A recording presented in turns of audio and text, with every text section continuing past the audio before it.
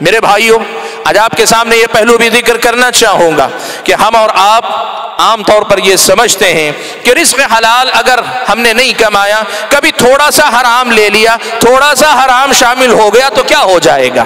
بھائیو سب سے پہلے تو گناہ ہوگا۔ سب سے پہلی بات تو یہ کہ گناہ ہوگا۔ اور گناہ چاہے چھوٹا ہو کہ بڑا، گناہ کو چھوٹا سمجھنا یہ منافق کی نشانی ہے۔ آپ کی نظر میں گناہ گناہوں کی آپس میں تقسیم کے اعتبار سے بڑے اور چھوٹے گناہ کیے، کبائر اور صغائر کی تقسیم شریعت میں موجود ہے۔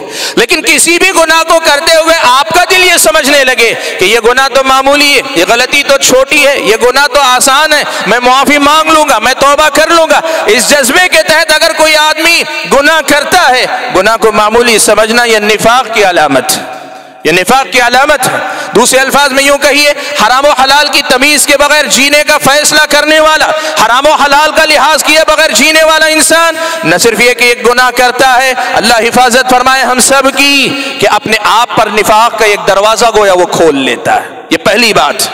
لیکن میرے بھائیو، ایک بات آج آپ کے سامنے یہ بھی رکھ دوں۔ یاد رکھو کہ اس حرام لقمے کا معاملہ یا پھر جو ہے ناجائز لقمے کا معاملہ صرف گناہ کا معاملہ نہیں حرام لقمہ اگر آپ کے اور میرے پیٹ میں جائے گا، لازمی طور پر اس کے بہت سارے غلط اثرات مجھ پر اور آپ پر مرتب ہوں گے۔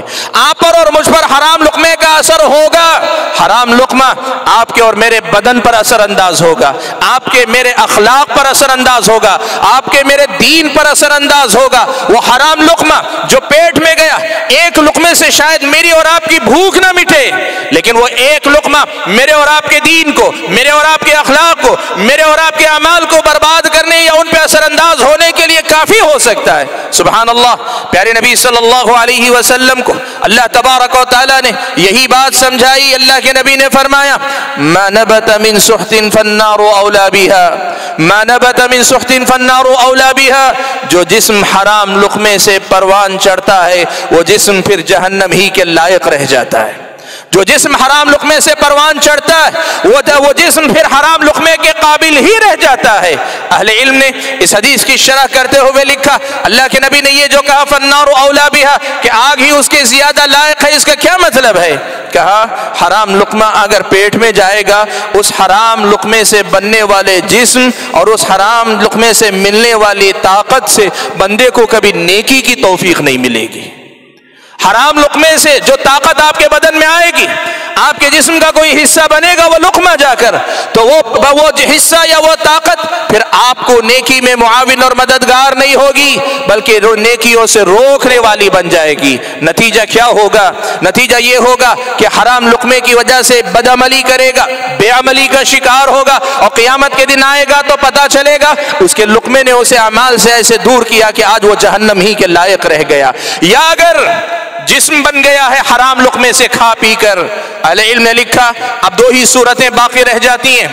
رب اگر کرم کرے، اس کی دوسری کسی نیکی کو دیکھ کر اور اسے پاک کر دے، تو پاک کر کے اللہ تعالیٰ اسے جنت میں بھیجیں۔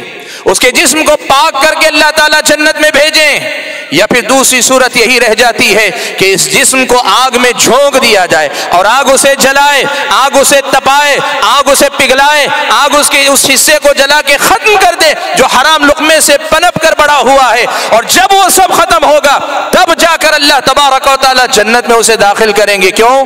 اس لیے کہ جنت پاکیزہ مقام ہے۔ حرام لقمے سے بڑا ہوا ناپاک جسم جنت میں نہیں جا سکتا ہے۔